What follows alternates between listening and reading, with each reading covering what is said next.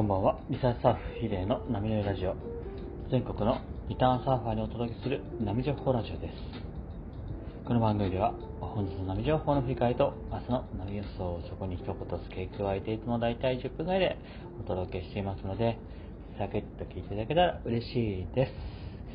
今日はですね、日曜日ということで、総括の日ですね、1週間お疲れ様でした。今日見に行かれた方おられましたでしょうか？楽しめたかな？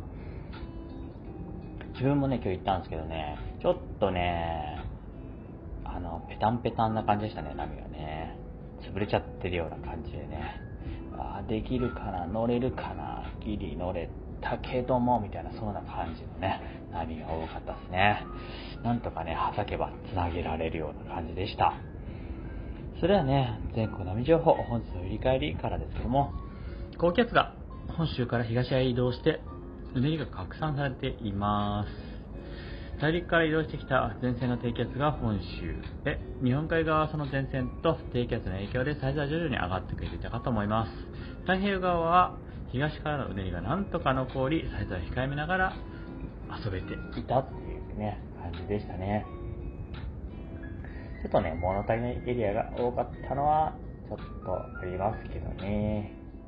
まあまあなんとか遊べてたかなと思いますね。風は低気圧が近づいたので、後半は特に強めエリアが出てしまいました。明日の波予想、明日は低気圧が本州から東の海上へ、北海道の東へ移動します。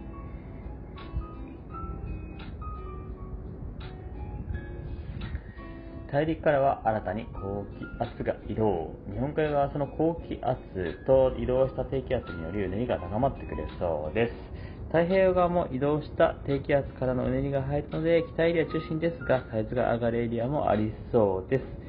風は低気圧が移動したので、その風が気になるエリアが多そうです。ということで、明日のドルドルさん、エンジレベルは星2.5にしました。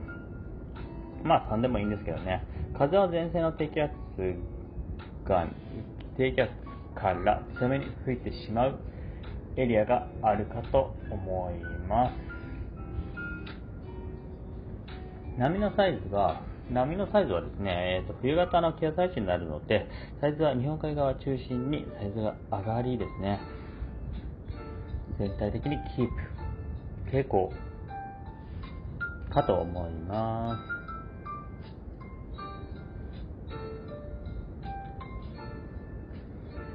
というところでね、今日の一言は、今日は日曜日ということで、総括の日というところですね、でお届けいたします。まずはね、日曜日、総括の日、ボリューム611ですね。あ、すごい、もう611、すごいな。そんなにやってんだな。1週間の総括の日ですというところでお届けしました。台風からのね、うねりが残ってくれて弱まりながらも風もとても弱く、うん、今週も広い範囲で遊べていたんじゃないかと思います。そしてボリューム612、ジャッジしてきました。カッコ仮、カッコ閉じるってね。なぜカッコなのかってね、急遽ジャッジしてきました。本ジャッジはまだ経験が浅いので行えないんですが、見習いとしてね、無償なんですけども、経験を積むことに、それも経験経験ですね。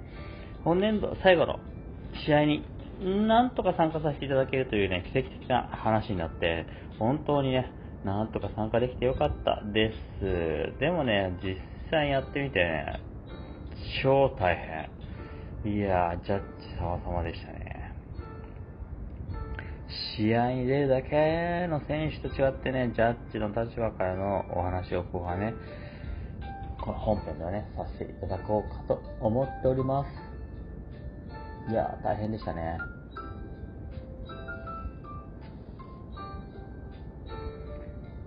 そんなジャッジはどうだったのかってね、ところでね、お届けいたします。そしてボリューム613見られているからこそうまくなるというところでね、いい感じにリラックスできてしまい、いい波に乗れました。ワンアクションがやったのコンディションなんですが、そこに3アクション入れたっていうね、ここで大事なのはリラックスをすること。でも、大事なことがもう一つあるんですね。そちらをお届けいたします。そして、ボリューム614。安心してください。スケボーはいつからでも、誰でもできるんです。っていうところですね。スケボーされてますでしょうか？スケボーって苦手だからね、痛いからしてない。サーフィンはやるけど、スケボーは初心者。そんな方もね、多いと、多いかと思います。それはね、もったいないですね。この間レクチャーした青田さん、もちろんスケボー初心者でした。でもね、すぐに乗れるようになったんですね。それはなぜかというと、本編をご覧ください。それでは、ボリューム615ですね。嬉しいことは続くのですねっていうところで、名古屋に行った時の話、うーんってね、信号無視、なんてこったい、危険じゃねえかってね、まあたまたまかもしれんですし、たまたまね、若尾マーク初心者だったのかもしですしね、うん、とっても不思議というところでね、名古屋は不思議だったんですよ。でもね、その名古屋でも生徒さんの声が届いてくれたんですね。嬉しかったなというところでね、ご報告してます。どのような声だったか。そちらはね、やはり本編をご覧ください。ボリューム616、大阪に言ったら寄ってほしいサーフショップがありました。はい。自分的にね、大阪で一番いいのはお寺や神社が近いってことですよね。これめちゃめちゃいいですよね。大阪城ももちろんいいんですが、自分が結構気にしてたのがね、大雄寺っていうとこなんですね。そしてサーファーなら気になるのがね、サーフショップですよね。なのでね、本編では、そのね、大阪で行ってほしいサーフショップ、どこですかってね、話で、お届けしております。ぜひご覧ください。そしてね、土曜日配信 LINE マガジンというところで、冬の準備してますかってね、冬の準備されてますか？今のうちに準備を必ずしておきたい。いや、するべきことをね、一緒に確認していこうというところでお届けしております。実際ね、これ言ったね、この LINE でね、全体配信したんですけども、そちらをね、投稿してすぐね、あ、ブーツグローブ OK です、みたいなね、形でね、連絡くれた方とかもいましたのでね、ぜひぜひご確認ください。そういうところでね、来週は海尽くしで癒されていきたいなと思ってますけどね、海のコンディション、波のコンディションはどうなるかなというね、感じですね。まあ、そんなね、まったりな週になる予感がしております。